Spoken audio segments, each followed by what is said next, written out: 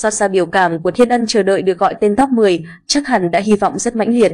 Việc dừng chân sớm của Thiên Ân vẫn chưa xót xa bằng biểu cảm của cô chờ đợi khoảnh khắc được gọi tên được Top 10 Miss Grand International 2022.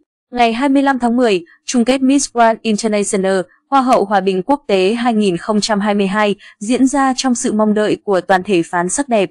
Sau màn trình diễn trang phục thể thao, đại diện Việt Nam, Đoàn Thiên Ân đã ngậm ngùi dừng chân tại top 20 Trung cuộc. Đứng trước kết quả này, nhiều phán đã thể hiện sự tiếc nuối ngập tràn trên trang chủ của cuộc thi.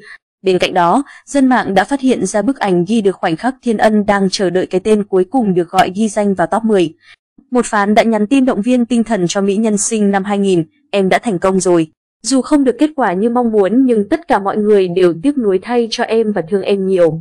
Ở khắp diễn đàn, cư dân mạng đều thể hiện ý kiến bất bình trước kết quả dành cho Thiên Ân, quá sốc luôn mấy má ơi. Tội nghiệp ở dưới ai cũng kêu Việt Nam đoàn Thiên Ân, ui là trời tôi nghĩ Việt Nam được gọi tên cuối cùng ai ngờ, nỗ lực phốt các kiểu bây giờ ao top 10 không cam lòng. Trình diễn tốt như vậy mà ao top 10.